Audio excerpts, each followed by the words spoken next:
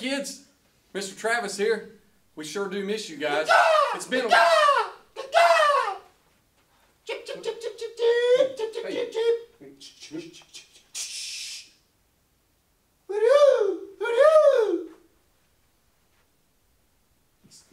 Excuse me. Hmm? Excuse me. What in the world are you doing? Skeeter from the swamps. I, I live right over yonder. Right, right. Way, Is that your little spot right down there? No, no, no, no, no. That's Uncle Jed's. It's way past him. Way, Yeah. way on out there. See that big old tree? Yeah, It's yeah, that that. one. Yeah, way oh, over. Past Yeah, that? what's way on past it? But you see, what's You're so awesome? Today I woke up, man, I was feeling so good. I got out of bed, had a gator on the front porch. I said, this is gonna be an awesome day. And I looked up and saw a little bird, just fluttering around. I said, I want him to be my friend. What kind of person? so I'm looking for a friend. You're, oh, you need a friend. Yeah. So Yeah. I'm out here looking for him, man, and I'm just not having a lot of luck. But you see, I went behind the house, I got down and I dug in the dirt, Yeah. and I good got, dirt. I had to fight a, a croc. Man, you know what? I can tell you right now, I love some good worms. Hey, look think at I a juicy worm right there.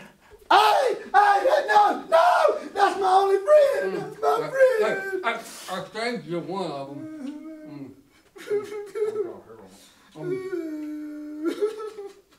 I ain't never Maybe you can get your buddy with that later. I ain't never gonna have a friend. I'm gonna be lonely all my life. Hey, that's perfect. You know what we're learning about today? Uh, There's somebody that is with us always. really? Who, uh, who's that? All the time. Who's God. that? God. God is with us. God. Hey, so, Yeah. oh, oh, God. No, no, you don't have to do that. Oh, No, there's no. need, no. Hmm, what do I have to do?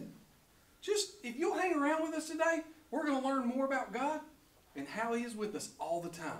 All right, man. I just woo.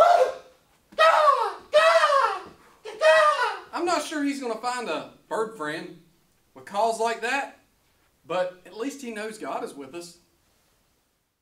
All right, guys, so we're talking about God is with us. The story you're going to hear today is about Moses. Now, Moses has had a pretty eventful life up to this point, but today we're going to start where he was a shepherd out in the mountains. Moses was shepherding and came to the mountain of God, Horeb. The angel of God appeared to him in flames of fire out of the middle of a bush. The bush was blazing away, but it didn't burn up. Moses said, What's going on here? Why doesn't the bush burn up? God called to him from out of the bush, Moses, Moses. He said, Yes, I'm right here. God said, Remove your sandals from your feet. You're standing on holy ground. Then he said, I am the God of your father, the God of Abraham, the God of Isaac, and the God of Jacob. God said, I've heard the cries of my people in Egypt, and now I have to come to get them and bring them to a good land. I've seen for myself how cruelly they're being treated by the Egyptians. I'm sending you to Pharaoh to bring my people, the people of Israel, out of Egypt. Moses answered God, What makes you think I could ever lead the children of Israel out of Egypt? I'll be with you, God said. Then Moses said to God, Suppose I go to the people of Israel and I tell them, The God of your father sent me to you, and they ask me, What is your name? God said to Moses, I am who I am. Tell the people of Israel, I am sent me to you. Now gather the leaders of Israel, tell them everything I've told you. Then you and your leaders of Israel will go to the king of Egypt and say to him, Let us take a three day journey into the wilderness, where we will worship God, our God. The king of Egypt won't let you go easily, so I'll step in with my miracles. Moses objected, They won't trust me. They won't listen to a word I say. So God said, What's that in your hand? A staff? Throw it on the ground. He threw it. It became a snake. God said to Moses, Reach out and grab it by the tail. He reached out and grabbed it, and he was holding his staff again. God then said, Put your hand inside your shirt. He slipped his hand under his shirt, then took it out. The skin of his hand had turned sick. He said, Put your hand back under your shirt. He did it. Then he took it back out, and it was as healthy as before. If they aren't convinced by the first and second sign, take some water out of the Nile and pour it on dry land. The Nile water will turn to blood when it hits the ground.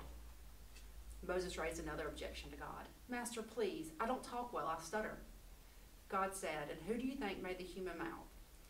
Isn't it I, God? I'll be right there to teach you what to say. He said, Oh, Master, please, send someone else. God got angry with Moses. Don't you have a brother, Aaron the Levite? He speaks very well. You'll speak to him and tell him what to say. I'll be right there with you, teaching you step by step. Now take the staff in your hand, and you, you'll use it to do the signs. So Moses returned to Egypt. So God clearly told Moses to go to rescue the Israelites from slavery in Egypt. When Moses was scared, God said, I am I will be with you. God is with us. Whether you're scared or you're lonely or you're just bored from being at home, God is with us. And that's what we need to remember today. So this week, try to read through Exodus 3, verse 1 through um, chapter 4, verse 17 with your family and read the story again and talk about it more. So before we go, I want to say a quick prayer with you. Dear Lord, thank you for loving us so much that you never leave us alone. Thank you for being with each of us, no matter what they'll be facing.